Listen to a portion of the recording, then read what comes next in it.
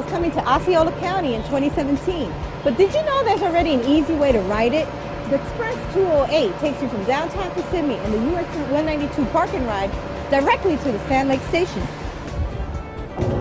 As you can see, it's a nice motor coach with Wi-Fi and other amenities. As both your Lynx and Sunrail board representatives, I am quite excited that we're able to offer this easy connection while Phase 2 is completed.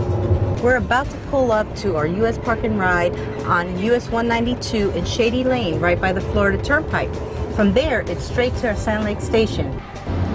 Sunrail expands our residents' access to jobs and relieves traffic-related stress.